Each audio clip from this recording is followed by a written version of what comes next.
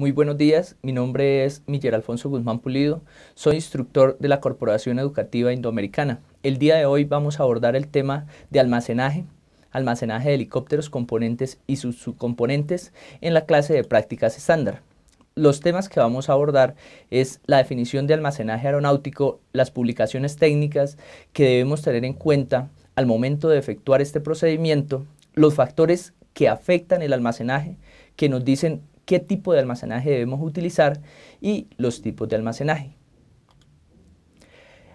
Almacenaje aeronáutico. Este término es, debe ser muy conocido por el mecánico aeronáutico debido a que cualquier omisión en este procedimiento nos puede causar un deterioro prematuro del helicóptero, del componente o de la parte o subparte que se encuentre ya sea en una etapa de reparación, en una etapa de aeronavegabilidad o en una etapa de stock o almacenaje. La definición. Hablamos que consiste primariamente en la prevención de humedad en la superficie de los materiales expuestos del helicóptero mediante conservantes.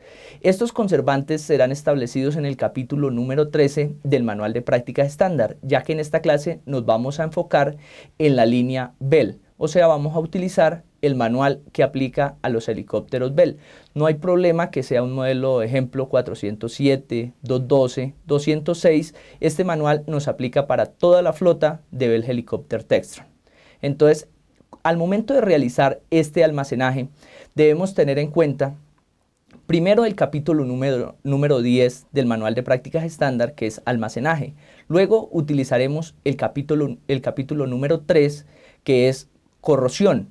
Acá nos va a explicar los tipos de corrosión, la prevención de la corrosión, nos va a hablar de los materiales símiles, los materiales disímiles, debido a que no podemos utilizar un material que tenga unas propiedades con uno que tenga unas propiedades diferentes, esto nos va a afectar eh, el componente y nos va a ocasionar daños prematuros. Entonces acá vamos a aplicar diferentes capas de protección en el momento de almacenar o en el momento de ensamblar de acuerdo a este capítulo número 3. De igual manera, vamos a utilizar la, la guía anticorrosiva. Esa guía anticorrosiva o de prevención de corrosión está establecida de igual manera para toda la línea Bell Helicopter. En cualquier modelo podemos utilizarla de igual manera. Después de conocer esas publicaciones técnicas vamos a pasar al manual de vuelo con el fin de conocer las propiedades o el tipo de lubricante, el tipo de combustible, el tipo de líquido hidráulico que se está utilizando. Para utilizarlo como tal ya en el componente o aeronave debemos dirigirnos al manual de mantenimiento. El manual de mantenimiento en su capítulo número 12 que nos habla de los servicios. Esto con el fin de saber qué pasa si contaminamos de pronto un componente con un lubricante y le agregamos otro tipo de lubricante. Entonces, saber cómo efectuar ese procedimiento de rellenado, de reemplazo, de eh, cambio de, de, marcas, de cambio de acuerdo al manual de vuelo que se encuentren en las mismas propiedades. Ya con eso podemos conocer los factores que afectan el almacenaje. Nosotros no podemos efectuar el mismo tipo de almacenaje en unas condiciones ambientales, digamos, de una altura de 3.000 metros o, una altura a nivel del mar.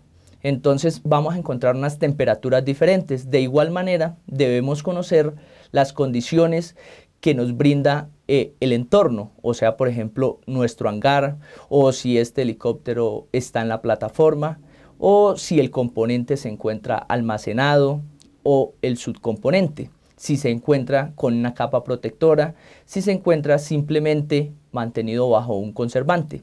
Entonces, las condiciones ambientales deben ser tenidas en cuenta debido que cuando el ambiente es más húmedo, nos va a dar más formación de corrosión o moho.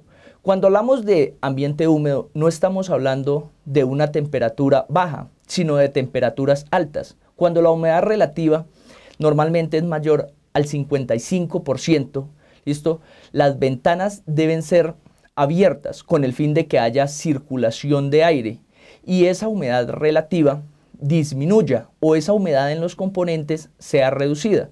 Entonces, cuando hablamos de humedad, decimos que se debe al vapor de agua que se encuentra presente en la atmósfera. Ese vapor es debido a la evaporación de los mares, lagos, ríos, plantas o otros seres vivos. O sea, entendemos que a mayor temperatura, entonces vamos a tener una mayor cantidad de vapor de agua en el ambiente. Entonces esto va a perjudicar nuestros componentes y va a causar daños prematuros. Cuando ya conocemos qué es almacenaje, los factores que afectan el almacenaje, podemos entrar a elegir el tipo de almacenaje, pero para estos debemos conocerlos. Entonces, hay almacenajes para helicópteros, o sea, cuando la aeronave se encuentra en una condición de total ensamble, cuando la aeronave se encuentra aeronavegable o no aeronavegable, ya sea pendiente para entrar a una inspección o pendiente para salir a operación. Componentes, de igual manera, componentes que se encuentran listos para entrar a una inspección o componentes que se encuentran para ser instalados en la aeronave. Subcomponentes. Estos subcomponentes pueden encontrarse como parte de un componente, o sea, cuando entra a inspección y se encuentra desensamblado, entonces ya hacemos un almacenaje de subcomponentes o cuando estas partes las encontramos en un almacén aeronáutico. Entonces, iniciamos con almacenaje de helicópteros. El almacenaje de helicópteros puede realizarse por un término máximo de seis meses. No se puede dar un almacenaje mayor a los seis meses, entre un día y seis meses. Entonces vamos a conocer cuatro tipos de almacenajes para este tipo de aeronaves helicópteros. Entonces, almacenaje disponible para vuelo, almacenaje de término corto, almacenaje de término intermedio y almacenaje de término largo. Entonces, iniciaremos con el almacenaje disponible para vuelo. Este tipo de almacenaje no tiene un periodo de tiempo, o sea, debe hacerse diariamente, diariamente. Entonces se utiliza para almacenar la aeronave en una condición de operación. O sea, nosotros inmediatamente tenemos la aeronave almacenada, también la podemos disponer, despreservarla para ponerla en operación. Es una condición muy favorable, muy favorable, porque nos va a mantener una inspección obligatoria de la aeronave. Entonces, cuando efectuamos inspecciones periódicas o mejor diarias, vamos a encontrar cualquier daño de manera oportuna, ya sea para reemplazarlo y evitar una condición insegura o para efectuar el tratamiento debido. Luego venimos con el almacenaje de término corto. Este almacenaje de término corto se realiza entre 1 y 45 días. O sea, cuando la aeronave va a estar entre 1 y 45 días en condición inoperable, podemos efectuar este tipo de almacenaje. Estos almacenajes recordamos que debemos tener muy en cuenta las condiciones ambientales, las condiciones de ventilación de nuestro hangar. Entonces, asimismo, vamos a escoger el tipo de almacenaje. Almacenaje de término intermedio. Este almacenaje va entre 46 y 180 días. Entonces, es cuando nosotros programamos la inactividad de nuestra aeronave por este periodo de tiempo.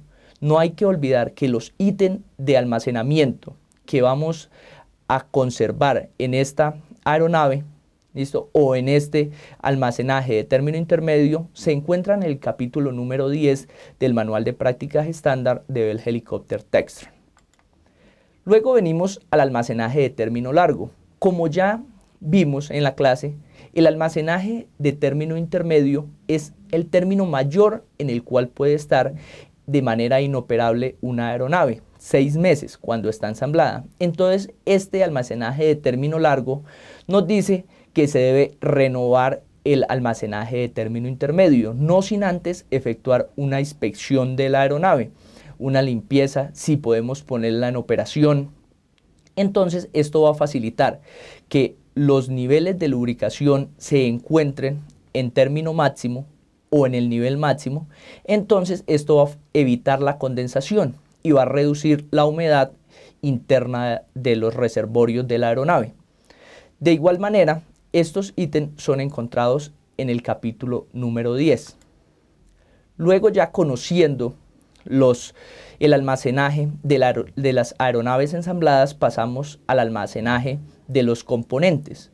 Entonces, este almacenaje de los componentes ensamblados, ¿no? componentes ensamblados, puede realizarse por un término máximo de 365 días o un año. Este procedimiento está dividido en dos tipos de almacenaje, almacenaje temporal y almacenaje de término largo. Entonces, la diferencia de este con el del helicóptero es que puede efectuarse por un término de 365 días, mientras que el del helicóptero solo puede ser por un término máximo de 180 días o 6 meses. Entonces, volvemos al almacenaje de componentes ensamblados. Entonces, este almacenaje temporal y almacenaje de término largo. Iniciaremos con el almacenaje temporal. Este tipo de procedimiento nos garantiza que los componentes se encuentren sin ningún daño en un periodo de 1 a 180 días. Entonces, este almacenaje es muy bueno debido a que no se va a dejar que ocurra un daño y hay una inspección periódica por lo menos de manera semestral. Luego, si el componente está para ser almacenado en un término mayor, o sea, de 181 a 365 días, o sea, un año, vamos a utilizar uno de término largo. Este nos va a garantizar que el componente se encuentre en condiciones óptimas máximo por un año, de seis meses a un año. Estos ítems de inspección, entonces los vamos a encontrar en el manual de prácticas estándar. Los niveles deben mantenerse al máximo con el fin, ya lo dijimos, de evitar la condensación y producir una humedad que nos va a generar una corrosión. Por último, vamos a conocer los almacenajes de los subcomponentes o partes, o sea, cuando el componente se desensambla o las partes se encuentran en el almacén aeronáutico, vamos a utilizar este tipo de almacenajes. Entonces, este almacenaje de partes o subcomponentes lo vamos a tener en un término de un día a 180 días máximo. Está dividido en dos categorías, almacenaje temporal y almacenaje de término largo.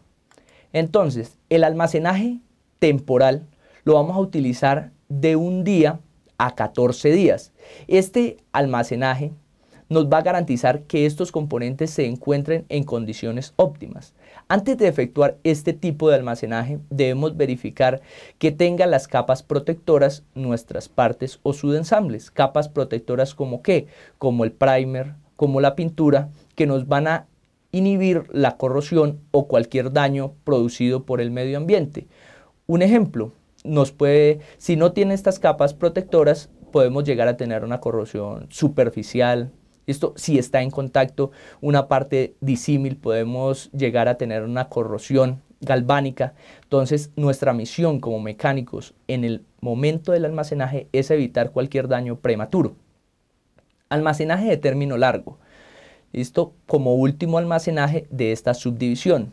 Las partes o subensambles pueden ser almacenadas por un término de 15 días a 180 días máximo, teniendo en cuenta las condiciones ambientales, dice que cuando las condiciones ambientales tienen una humedad relativa mayor a los, al 50%, se debe escoger mejor un almacenaje temporal, porque el almacenaje de término largo entonces nos va a dar unas inspecciones, unos intervalos de inspección muy largos, que pueden llegar a dejar producir un tipo de daño en la parte. Este es el tema. Para profundizarlo podemos ir al capítulo número 10 del Manual de Prácticas Estándar o al Manual de Prácticas Estándar de FAA AC 43.13-1 Bravo. Muchas gracias.